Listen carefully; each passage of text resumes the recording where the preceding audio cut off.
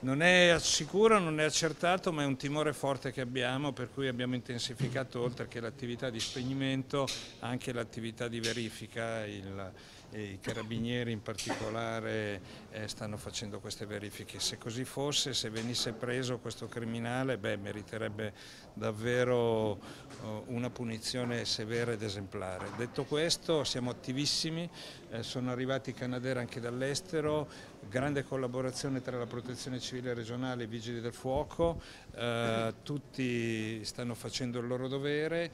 sono oltre 500 gli ettari bruciati di bosco per cui pensiamo anche a una misura per ripiantumare poi tutti questi boschi che sono andati bruciati. Il tavolo sull'autonomia a seguito del referendum, eh, il 7 di novembre il Consiglio regionale approverà la risoluzione, mi auguro all'unanimità, comprendendo tutte e 23 le materie e poi comincia la partita. Sono molto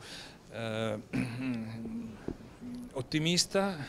eh, molto motivato, grazie ai 3 milioni di Lombardi, più di 3 milioni che sono andati a votare, sarà una partita difficile e complicata, ma proprio perché